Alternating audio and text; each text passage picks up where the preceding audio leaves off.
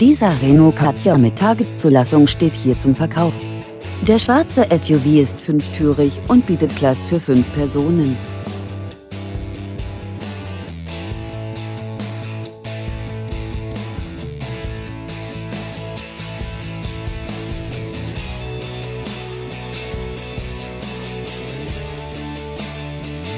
Der SUV besitzt zahlreiche Ausstattungsdetails wie Sitzheizung, Alufelgen, Panoramadach, Xenonscheinwerfer, elektrische Sitze und noch vieles mehr.